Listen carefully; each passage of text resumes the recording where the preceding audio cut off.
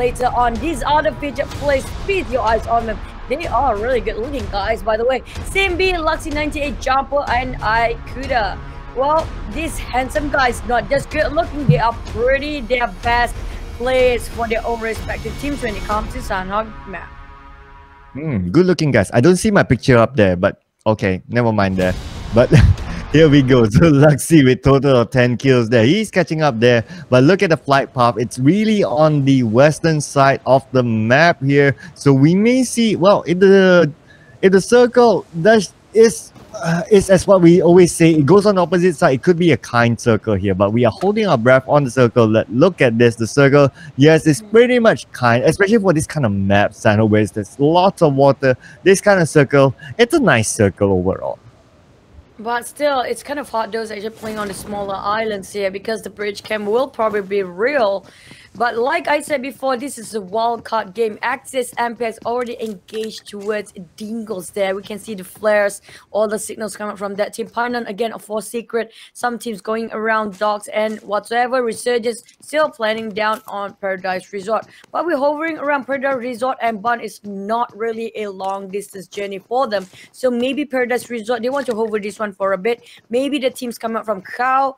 Um, will have to pass through Paradise Resort if they want ended up in Bun or even Camp Bravo at this point because the circle is kind of unpredictable again when it comes to the last circle. Around ruins, well, uh, exits they need to get out from here because they need to swim or Dingleson actually camping out of their outskirts. The app is far away from the rest of the team. So Sun is kind of far apart from the rest of the team. Now, Kratos is already down back in the lobby the moment they dropped mm, it's not fun being him for now. Mm, it's definitely not fun being him. We can see he's actually not moving. He doesn't want to give away his footsteps early on. So he's playing this really, really chill for now. Definitely not much loot onto him. But look at this. Maisel and Mosgoku, they are in the same compound. Now, Mosgoku is just waiting on the other side, just sensing out where Mesa is. Mesa, lots of movement for him, so Mosgoku definitely knows that someone is in the compound. Now, he is moving away, feeding after feeding back that information back to his team. Mosgoku need to continue on to loot. Now, he only has a level 1 vest, and in this sort of smaller map, you need the vest in. You need that vest for the later part of the game. I think what they really need right now is, um, well, for Zix, apparently he doesn't have anything. I kind of question where he is heading because he's looking at the ground just now. Last survivor each on with a micro Uzi, no vest whatsoever. But uh, will they be okay for last survivor right now? Because um, uh, I hope there won't be any issues. I'm kind of scared because they are looking at the grounds. But yeah, back about the game. Axis MPX, they have dingles in between. Can Sans just quietly get out from here or he will be caught up by Appy who's slowly closing in and shorting the distance between them. I don't think Sun can get away from them. Maybe he can take Appy down if he got himself some weapons here.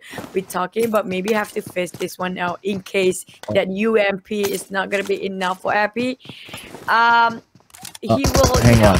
I mean, he's oh. right, but wait for him. Look at a different angle there. It took him some time. Sass get that extra kill. What? Uh, uh, what? Wasn't sad like just standing at the corner? Appy did not see him at all. What? Really? Really? Okay. interesting because, well, Sun was just dancing and, and not standing, literally just standing still there. really? Uh, what? Uh, I, am really confused here. I I think I, I I think one of them need to really change their glasses. Okay, I, am really confused there. Okay, that's really surprising. They got Appy just now. I thought Appy had it, but apparently Sun is just, hey, hello, I'm a mannequin. You didn't see me, and he didn't see him, and just pretend not there. It's not there. Well, Team Secret and Pynon, they will get themselves one vehicle so far, but the rest of the team will go on foot here probably, and uh, they're having some time to get themselves onto that vehicle. Uh, but yep, everybody will back on foot and we're gonna see if it's gonna be anybody bumping into each other in the first phase. When it comes to first phase, there's not much fight going on unless if they happen to drop anything collision with ESG. And also, we're looking at RSG at the same time. Yep, and outside now we do see Pemburu here with a knockdown onto one of them. Managed to take out Voki, but then again the revenge comes in onto the side of Pemburu. And now Pemburu is being knocked down as well. Small boy trying to find a good angle, but Superman, the Superman for ESG, is still prepping the grenade there. Probably will pop it out on the side of Small Boy. Now Small Boy need to evade, but the grenade from Superman, a super grenade, we call it. Managed to get the knockdown onto Small Boy. Another grenade being is sent out by the by Super He has a micro Uzi getting ready there, but looks like and knocked down onto the side. Bota will immediately need to use his first aid kit. Need to recover because the rest of RNG they are still close down. But the grenade again! Oh my goodness, this is grenades galore. Managed to clean up ESG. ESG be the first one to bow out. At the same time, look at Rico butting in just now. Team B pop in the kill fit, but Team Secret now with what they have, they need to revive UI, who's his strong to begging for his savior. But Hydra and the rest of Bigatron will go this really, really aggressive with how they corner every angle possible. Boyka come up from the other side, and Boyka managed to wipe the rest of team being Team Secret being wiped out at the bottom two here. This is not going to do well for them because they are really trying to fight themselves as a top spot. Too soon for them so far. That will affect the whole standings when it comes to overall. But Team No Recall, they butting in for ESG versus RSG just now. Team No Recall getting that flush over uh, Resurgence side who happened to reset themselves already done with the Iron side on Stewart. Try to flush out against Iron Pro.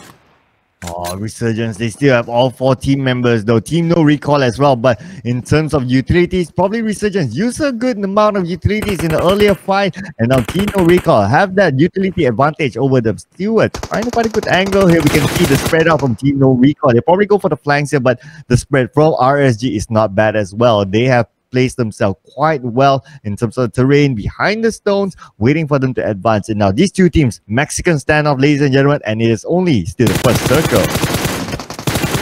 Now back to the spray, beautiful spray by Volky that knocked one down, but will it be enough? We're talking about they are slowly crawling into fighting head-on resurgence and you know, Rico trying to show off who actually better when it comes to CQ later on. Right now, he's still middle range, trying to clean that kill up. They managed to get one point eh, on Simbi, but every point matters so much like diamonds they were talking about. Resurgence take one down on Team No Recall here. They force to retreat. Team No Recall cannot stand that the economy is being depleted really fast at this point. They need to reset themselves. Ammunition-wise, I don't think they have enough there to prolong that fight. So Team No Recall trying to get the loot back up again. Ah, losing Simbi is just not good. They, now they have to fight with three team members, but RSG still on their side. They do have full squad here, RSG, and now they're not letting Team No Recall go easily. Volky here putting a lot of pressure on the side of Team No Recall, trying to find a good angle there, but not gonna be easy as well. But looks like they may want to go for it and finish the job here. We see here Volky, he is advancing, trying to take a flank here, trying to make a different angle. If you do see the formation from RSG advancing slowly but surely, getting closer and closer to the side of Team No Recall now. What will Team No Recall do? Will they have enough utilities? Will they have enough ammo? And now Stewart has been knocked out by Iron Pro. Team No Recall is now falling apart. Stewart, half-life now, bleeding out for sure. And now looks like Team No Recall is falling apart. Low, you have been knocked down as well. Only one more team member left. Aga, can he pull a clutch here? It's going to be tough, but it's not impossible. Voki poking out the grenade will be tossed on the side. Aga, and there you go. Will it be a Kobe scoring a three-pointer? But looks like not yet. But Voki still pending out Aga a little bit more. Voki, can you just finish up the job here? But then again, maybe his teammates will do it. And yes, there you go. Team No Recall, unfortunately, out at 14th place. This is Sanhok. This is a wild-card map. We're talking about all the top contenders and the top tiers there, top five players, all knocked down and away, including Team No Recall there. We're down to 13 teams only. Every team know when it comes to Sanhok, it's anybody's game. And still, YouTube gang, they will get themselves that first place here apparently because why they're hanging on to this still surviving longer than team secret who is one of their closest contenders but now down to the front okay so apparently those who are happy cannot be too happy because uh apparently they're having some issues like i kind of question it since the start of a game just now because of um, how everybody kind of you know looking at the ground and not seeing uh, the right things. But yeah, probably we're gonna have a remake because there's some technical issues again. Uh, hopefully it will go smoother for the next one. We're already halfway though. Yep, sadly, but that's life. Sometimes you just cannot avoid things to happen. Yeah, well, it, it, it happens, ladies and gentlemen. But then again, well, it's going to be a remake here after this. But well, remake, we'll see. New new flight path, new circle, that's possible there, ladies and gentlemen. So while we wait for the remake to actually happen, we can just look at these teams actually making those rotations now. This is also possible probability and also some little bit of study for some of these teams opportunity as well because well they have dropped down at where they will be and well they can take that as a little bit of reference point there but well, it could be rotated again later on. We we don't know, right? Because these teams are best of the best. They sometimes they don't stick to only one strategy. They can switch it up at any time they want. They, I'm sure they would have like oh plan A to Z, right? So they have everything all in the books. But here we go. Some little action before we go for the remake. Axis MPX on the side of Dingles not have been knocked down, and Sand is still hanging on behind the tree. Are we really having one? It doesn't seem like we will be because Axis is fighting against the Eagles for now. Gonna wait and see for the final verdict. Uh, but back to that. The Eagles kind of stuck underneath that big, big tree. We're looking at Chick going in there and tossing it over the nade to finish off the kills without any harm onto him. Jumping over, which gonna gig fam getting that kill feed as well. So I'm not sure how this is going for now. Mm, yeah, I'm, I'm not too sure as well, but I guess we can take it that okay, since the action is still ongoing and there's no information from from our marshal so far, we don't see the the usual. So we can continue. We can consider that the game continues on for now here, ladies and gentlemen. So looking at this, the airdrop M249 with a sniper suppressor. Mm, I'm not too sure what's that for. Again, something okay. that they can throw at their opponents and just knock them out. Maybe that's what they're going to do with the suppressor.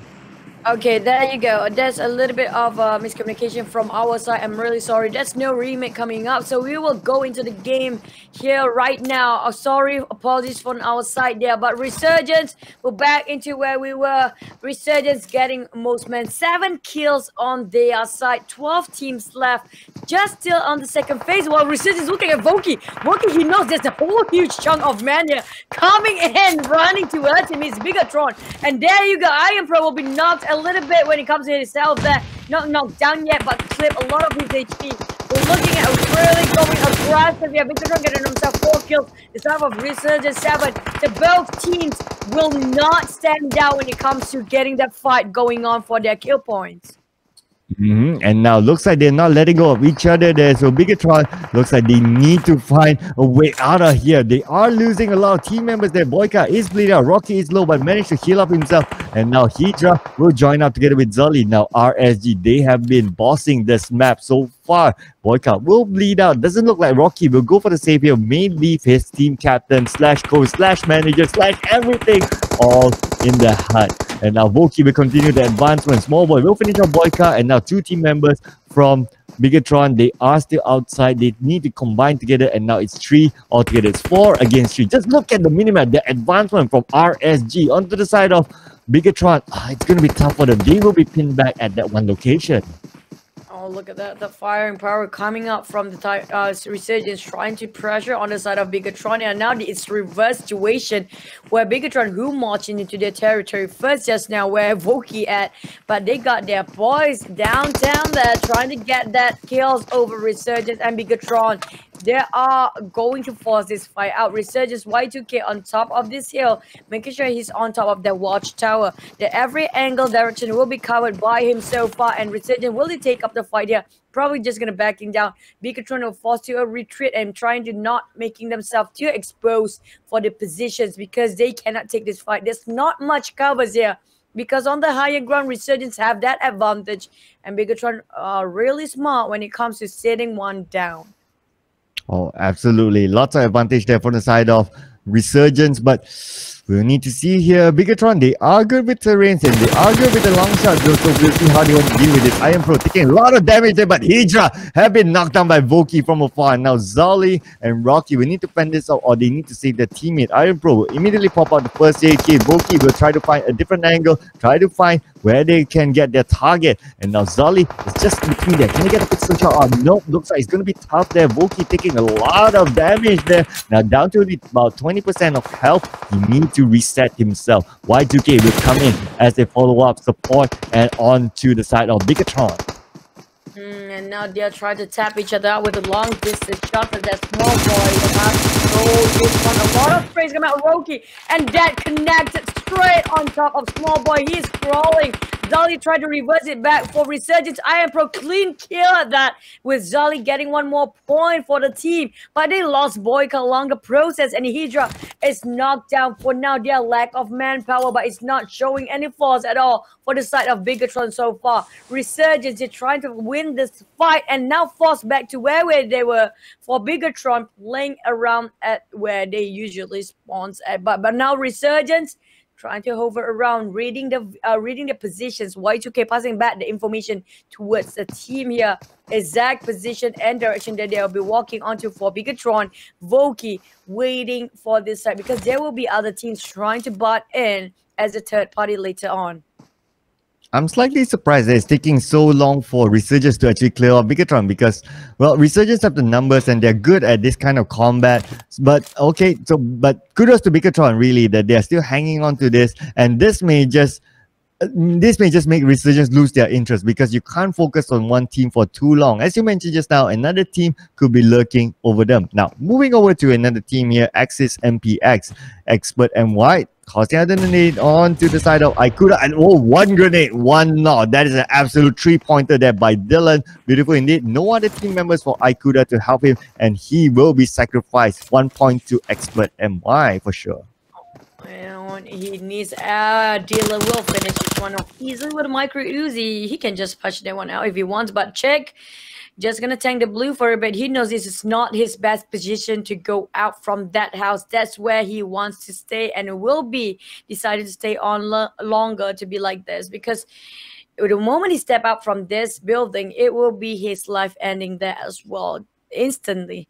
While looking over the next circle is just on top of one on the outskirts of Paradise Resort, who used to be Resurgence drop points, but apparently Bappa R and FV, also Tara already got themselves right smack in the middle, or Resurgence playing around the rims. They only have two men left on their side. You do you the gang going to uh, bump into last survival on that direction while Bigatron will have to pass through again resurgence for another round two fight.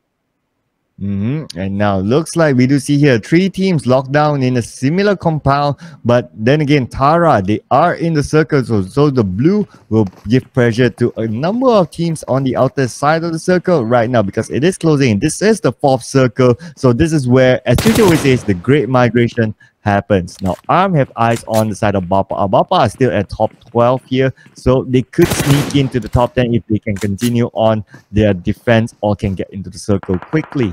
Now, but Tara is gatekeeping, so it's not going to be easy for any of these teams to actually make their way into the circle. Y2K looks like he's been knocked down on the other side by Trixnity, so not looking good for Resurgence on one side, but Trixnity is all alone and his teammates are far away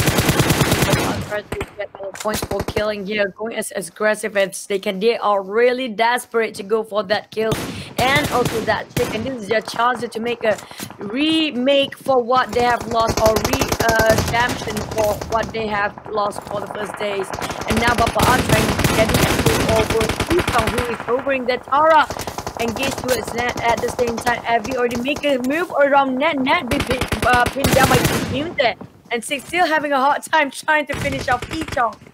At the same time, Avi going against Net and last survival, you will have to fight Tara and Bappa if this prolong for another couple of minutes, which Resurgence and also Avi marching into their direction too. Mm, and yes, definitely. We do see here a lot of teams starting to converge with each other. Last survivor, they are across Bappa but it is 3 versus 3 at this point. Mosgoku, they're all in the same house though, so it's a little bit of a risk there if any grenade does go on to their side. So, but Bapa a little bit spread out there, but Bapa a little bit better for them now. Drag still trying to fend off Dylan. Dylan been knocked down by Ziggs. Actually, it is a kill still, a little bit of kill still there by the side of the last survivor, but that only gives information towards Drax that they, he does know now that there's opponents in the other side of the house now. Yet again, they are in the circle though, so it is theirs to defend at this point. The circle is closing in, and we will move to the fifth circle soon. Jumper have a little bit of high ground there, knows that Expert NY Romeo is on the other side. Now they need to take care of their flanks.